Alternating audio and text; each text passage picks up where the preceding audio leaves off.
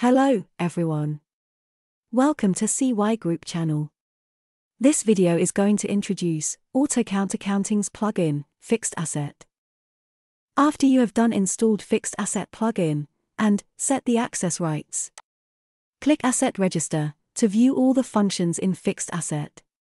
Fixed Asset contains various maintenance, asset transfer, depreciation posting, various reports, setting, cost allocation, change code, export and import.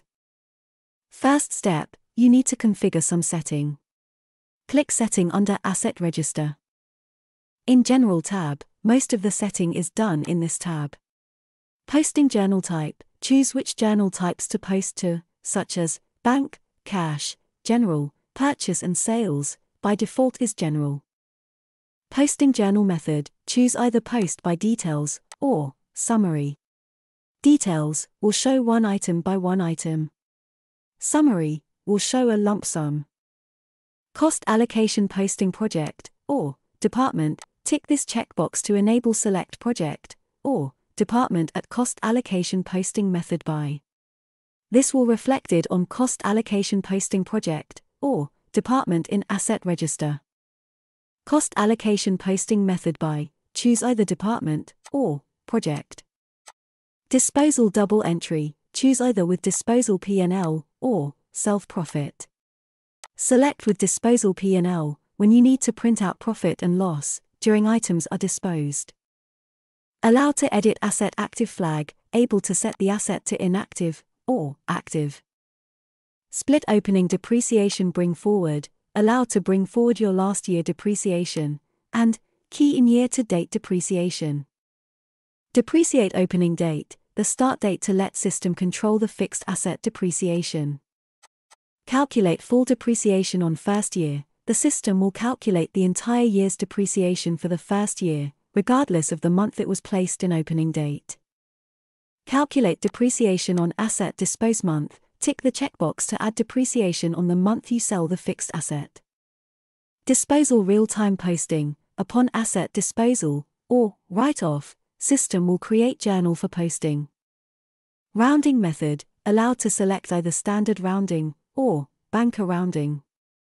Next, click Document Numbering Format tab. In Document Numbering Format, you are able to design the document numbering format for specific document. Such as Asset, Asset Transfer, Asset Type and Employee. Proceed to Others tab. You are able to modify the field's length of project, and department code. However, once you have increased, the field's length are unable to decrease. Last is Reminder tab. You are able to set the days in advance for reminder. The notification reminder is allowed for insurance policy, road tax expired, asset return, asset service, leasing expired and warranty expired. Click Save to save the setup in setting. After you have set up the setting, go to Asset Register, then Asset Type Maintenance.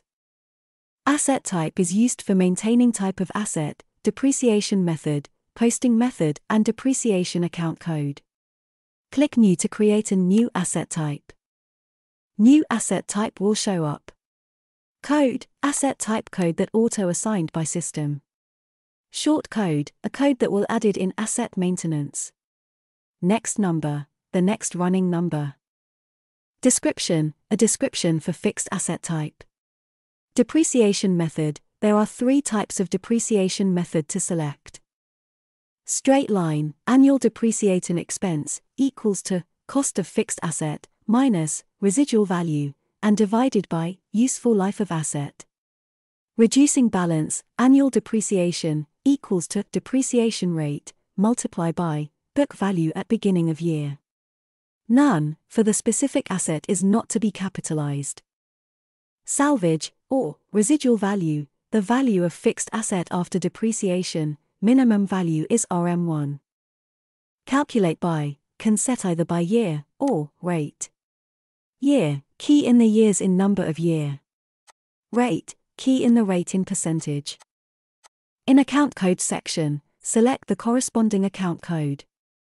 Asset account code, the account code for the asset type, such as furniture fitting. Accumulate depreciation account code, the accumulate depreciate account code for the asset type.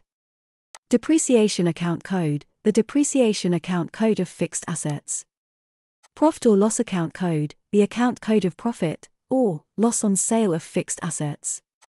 Asset write off account code, the write off account code of fixed assets. If you have not created fixed asset account code, go to GL, then Account Maintenance. At Account Maintenance, click Fixed Asset under New Special Account. A prompt will show up, key in the account number and description, then click Save. That's all for this part. Thank you, and see you in next video.